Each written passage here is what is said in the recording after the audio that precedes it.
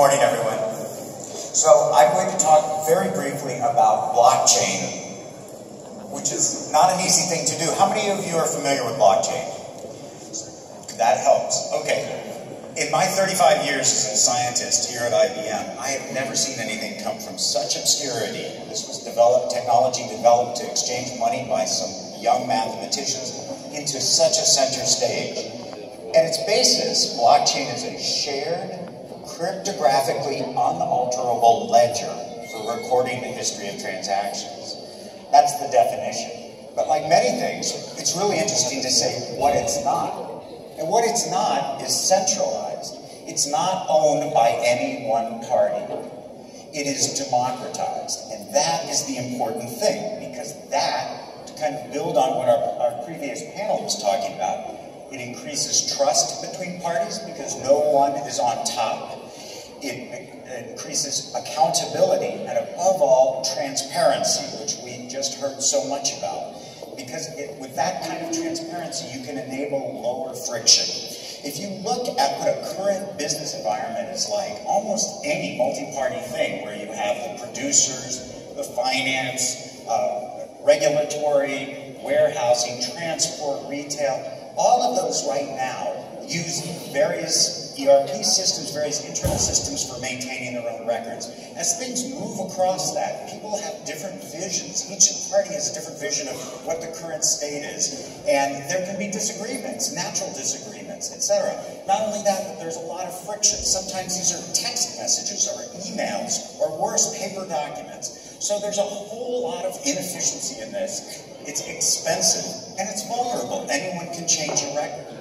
So what blockchain does is it's a single database that everyone has an identical copy. And when I say everyone, we're talking about enterprises now.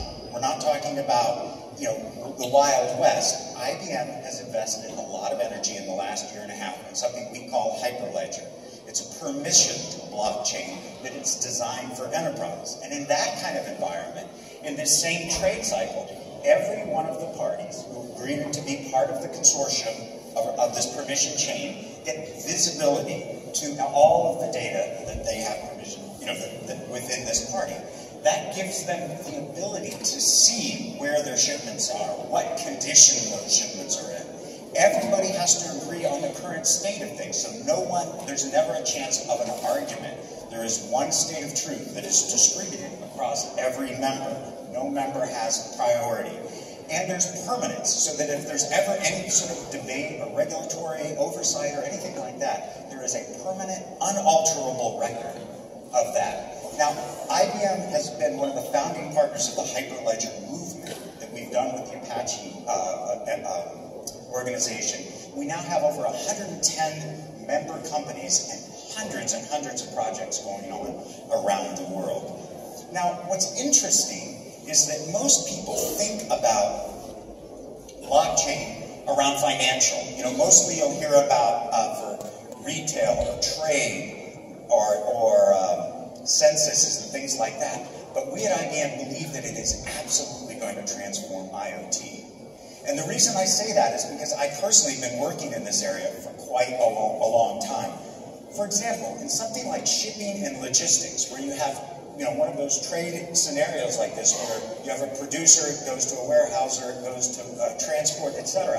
If you want to monitor where your shipment is and what condition it is, it's incredibly important to be able to do it. We're pleased to say that we are now working with a consortium of the Baltics and Finland in uh, a, group called Kinno out of Kouvola. And this is actually one of the devices that we've built to help test. This device is actually real time talking the last bit into the IBM Hyperledger re region. So this allows us to be able to track uh, shipments all the way through.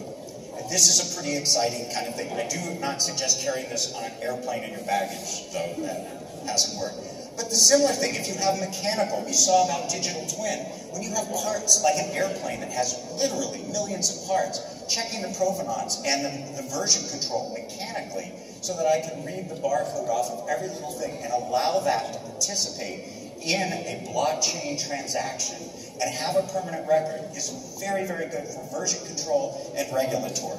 For metering and control, things like electric meters or other devices that you want to be able to transact directly with, you can use blockchain as directly in the hardware where you have an unalterable ID in the hardware and it allows you to make secure transactions. And finally, in supply chain, this is where we're going to hear from our guests. Now, all of you know what supply chain is, but one that you participate in with all the time is food safety.